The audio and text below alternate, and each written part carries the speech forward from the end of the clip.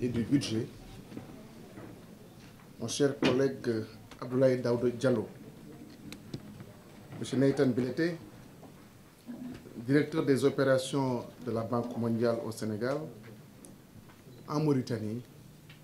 en Gambie, en Guinée-Bissau et au Cap-Vert. Mesdames et Messieurs les secrétaires généraux des ministères ici présents, Mesdames et Messieurs les directeurs généraux, directeurs et chefs de service,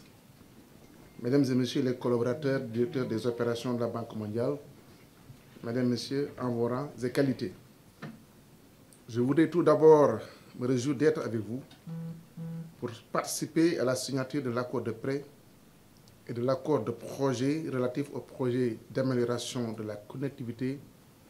dans les zones de production agricole du Nord et du Centre, le PCZA, pour un montant d'environ de 200 millions de dollars américains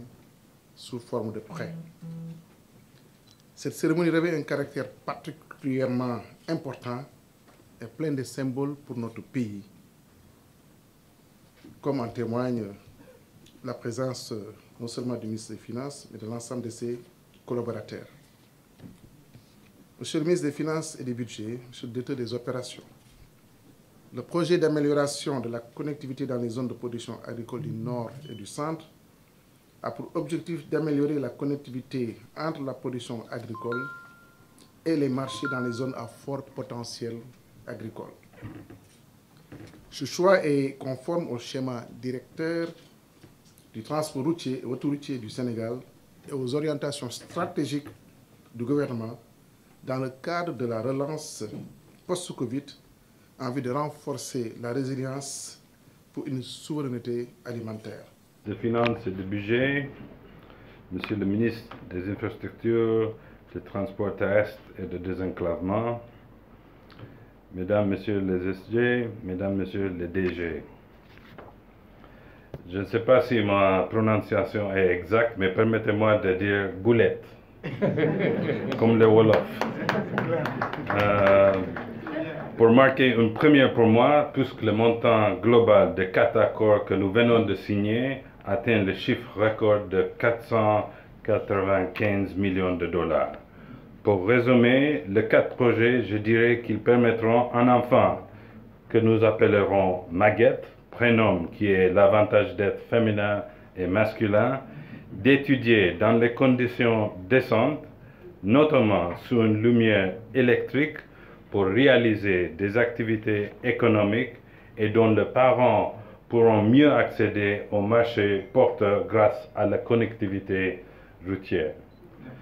C'est donc pour Ondokores, à la fois mon neveu et ma nièce en. Donc c'est pour Ondokores Maguette et pour plus de 600 000 autres enfants et jeunes que la Banque mondiale a financé pour 100 millions de dollars le projet d'appui pour la performance du système éducatif dont l'objectif est d'améliorer la qualité, l'équité, l'accès dans le secteur de l'éducation. Ce projet se veut transformateur avec des innovations comme le développement d'une approche d'apprentissage hybride ou open school qui permet aux enfants et aux jeunes qui ont quitté le système éducatif de commencer et de terminer leur formation grâce à un mélange d'enseignement virtuel et en présentiel. Merci beaucoup, mon cher collègue, monsieur le ministre des Transports, des Infrastructures, des Transports terrestres et du désenclavement, euh, mon cher frère Amadou Mansour, euh, monsieur le directeur des opérations de la Banque mondiale, cher ami Nathan, madame, monsieur le secrétaire général, monsieur les directeurs généraux, mesdames, messieurs, en vos rangs et qualités. Euh, C'est avec un réel plaisir que je procède aujourd'hui avec le directeur des opérations de la Banque mondiale, M. Nathan Belleté, en présence de mon collègue et ami Amadou Mansour Faye, à la signature de quatre accords de financement, je dis bien quatre accords de financement, pour un montant global de 495 millions de dollars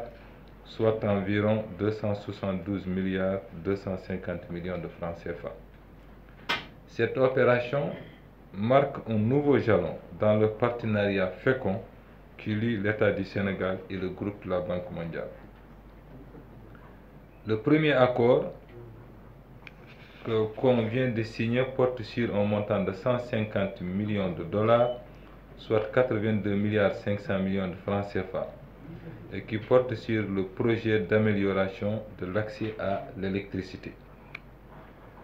Ce projet vise à accroître l'accès aux services d'électricité pour les ménages, les entreprises et les installations publiques essentielles au Sénégal.